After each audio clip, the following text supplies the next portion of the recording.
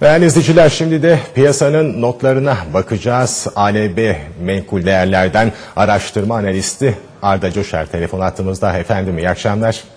İyi akşamlar. Borsaya baktığımızda yüzde birlik bir artış görüyoruz. Dünü oranla biraz olsun toparlandı. Borsa 79.834.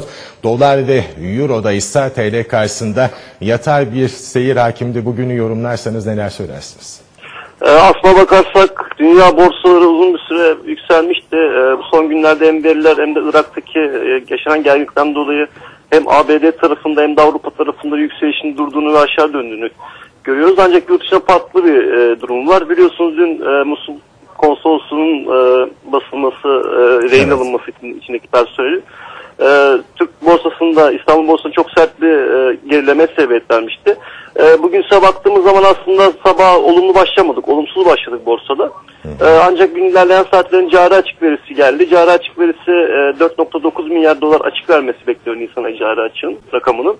E, daha az verdi. 4.78 e, açık geldi. Yani beklenenden daha az geldi açık. Yanı sıra cari açığa da bir bütün olarak baktığımız zaman cari açık e, geriledi, gerileme trendinin devam ettiğini gördük. E, bu da cari açık Türkiye'nin önemli listelerinden birisi olduğu için önemliydi. Bir miktar toparlanma oldu veriyle beraber. Borsada bir yandan dolar TL miktar gevşeme oldu veriyle beraber. Ya gün ilerleyen saatlerinde e, kaynağı tam olarak belli olmasa, tam emin olunmasa da e, rehinelerin bırakılacağına dair haber bırakılacağına dair haberlerle e, borsada yükselişin hızlandığını gördük. Şimdi ya, bakarsak yarın e, ABD tarafında üfe ve Michigan tüketici güven endeksi verisi var. Bunlar öne çıkacaktır. Yurt için önemli veri yok. E, bunları izleyeceğiz. Ayrıca Irak'taki gelişmeleri, konsoloslukla ilgili gelişmeleri izleyeceğiz.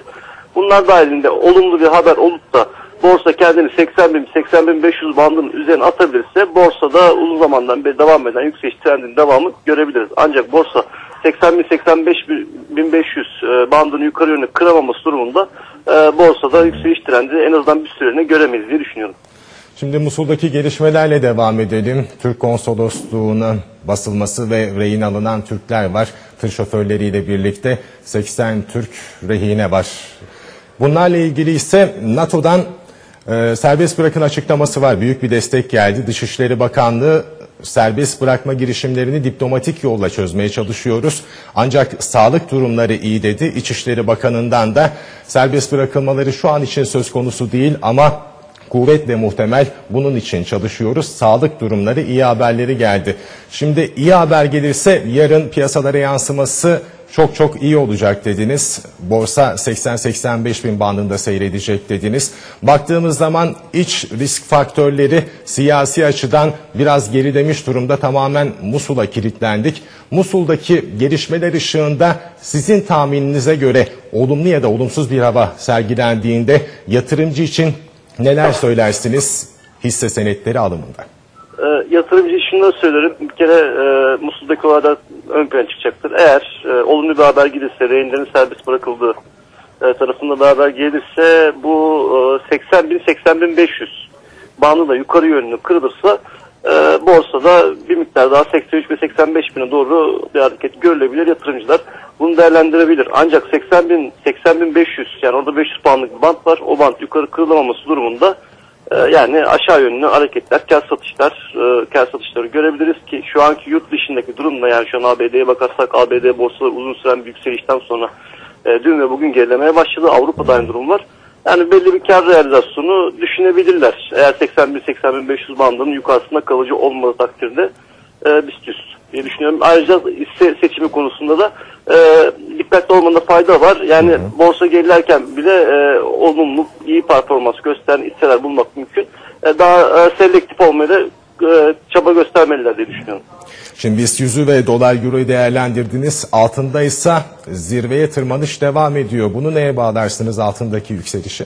Altındaki yükseliş e, tamamen Irak olaylarıyla alakalı çok. E, şöyle söyleyeyim, e, uzun bir süre konsolide ol, oldu altın. 1248 dolarla 1253 e, dolar arasında. Irak olaylarıyla beraber altın kendini 1260 dolar üzerine attı ve oradaki 1260 dolar desteği üzerine sundu. E, şimdi bakarsak Irak'ta işit yayılıyor. E, öyle haberler geliyor. Tabii kaynaklama belli olmayan haberler olmakla beraber piyasayı etkilemeye yetiyor bu haberler. E, yani raferi, rafineri kuşattığına, Bağdat'a doğru ilerlediğine, Kerkük'e doğru ilerlediğine dair haberler geliyor. Tabii karşı haberler de geliyor. Tabii bu e, Irak önemli bir bölge. Sonuçta petrol bölgesi, e, enerji hatlarının geçtiği bir bölge. E, bu da dünyadaki risk algısını arttırmasından dolayı altında yukarı yönlü bir seyir oluşturuyor. Oluşturmaya devam ediyor. İlk etapta bugün e, 1268 dolar seviyesi yukarı yönlü kırıldı. Önümüzde 1200 e, 77 dolar seviyesi var. Eğer burası da kırılırsa bir kısa vadede 1285 dolara doğru bir hareketlenme görmemiz e, mümkün diye düşünüyorum. Bu Irak olayları devam ettiği sürece altını destekleyeceğini düşünüyorum. Son bir sorum daha olacak size. Musul'daki olayı kazasız belasız atlatırsak rehineler geri döndüğü takdirde içe döneceğiz. İçte de Cumhurbaşkanlığı seçimleri ön plana çıkmaya başlayacak. Seçim öncesi piyasalarda etkileşim nasıl olur? Olumlu olumsuz bir hava sergilenir mi? Yoksa o Cumhurbaşkanlığı seçimleri piyasaların dışında mı kalır, dışa bağımlı mı kalırız?